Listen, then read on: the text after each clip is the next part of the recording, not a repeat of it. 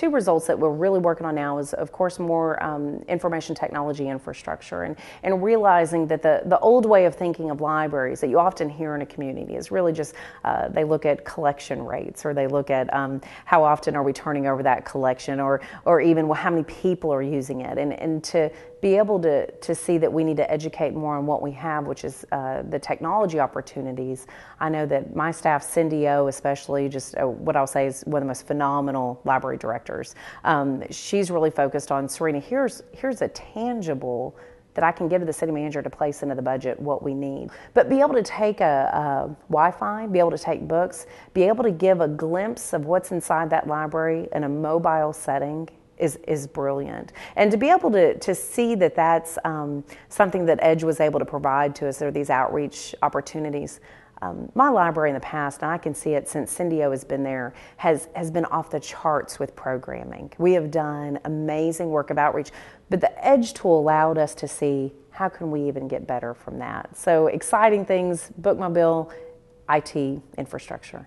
I think what is happening is that you'll even still hear people say, well, with the, the age of technology, nobody checks out books. We, they have the Kindle or they have XYZ. And I, and I think it goes back to educating on the programs that we provide that is far beyond checking out a book. Um, giving access to people for job um, applications, giving access to individuals in our community to do their taxes, giving the opportunity for individuals to have a place where they feel safe, um, giving a place for students after school to have programming and activities, whether it be through summer book club or, or after school. What I hear in my community is anyone that steps foot into that library comes out with a good experience.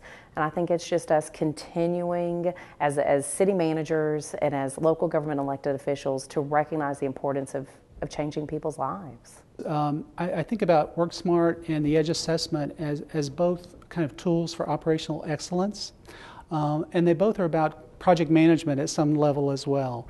So um, we, we approached uh, the Edge assessment as kind of uh, the way that I think about it and the way I explained it to staff is the way that you have to that I go in every year for a physical exam we're doing kind of a, that kind of exam on our system as a whole and see where we are. So it's an opportunity to kind of stop and kind of assess the whole system as opposed to pieces of it. Um, and then to, to use that data to make better decisions about where we want to go in the future, particularly around technology.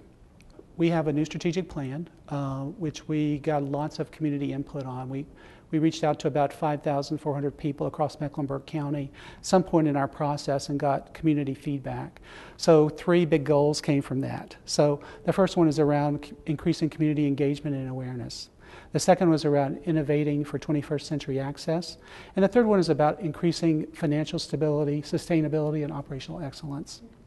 So if you think about Edge as kind of uh, thinking about the infrastructure and whether the organization has the infrastructure to deliver on all three of those things, that's the, that's the way that I kind of think about those. Because really, when you get down to it, it's all about the customer experience and whether the customer experience is improved.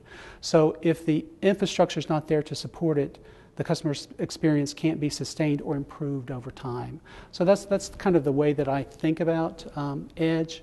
One of the specific things that's really helped us do is really uh, approach accessibility uh, for our community. Uh, people have challenges with vision or hearing or all kinds of other things in a more systematic way and really helped us create community relationships because we don't have all the expertise that we need in house, but our community does and organizations in our community do. So they've really helped guide us in taking the, the recommendations that came from EDGE and putting those into action. As a manager, obviously, I really appreciate um, measuring uh, our performance and what we're doing and evaluating that and giving us some benchmarks to compare ourselves against. Uh, so that's always important. And the recognition, the upfront recognition by the EDGE uh, initiative that uh, the focus here is on continuous improvement, and that's what we're after in our city. We're at the point right now where we're concluding the uh, capital campaign that we passed, uh, bond measure we passed in 2008, uh, to uh, rebuild and build new libraries uh, in our city, uh, our five library system. And so the two most, the two largest of those are going to open up this year. And so as part of that, Monique and our team has, my library director, has been you know, uh, developing a strategic plan for the next three years.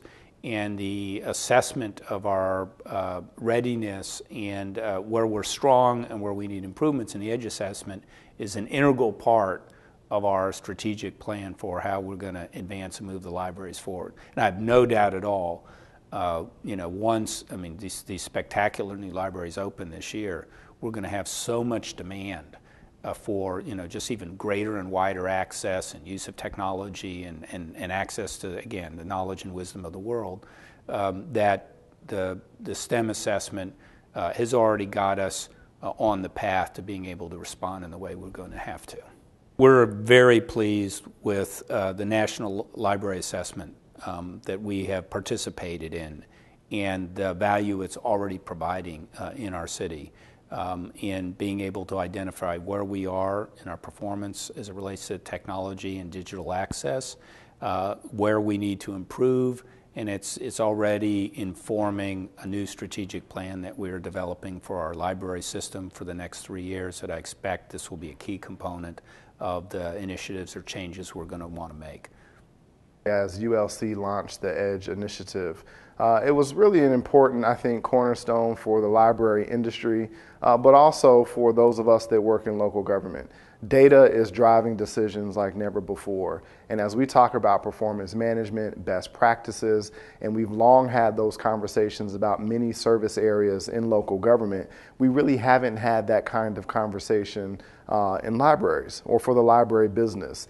And so to have a language and a framework to talk about performance, to talk about what best practices are, to really benchmark against some industry standards, uh, and that's what EDGE is all about, is really important for libraries. It helps makes the case, I think, for why they're relevant.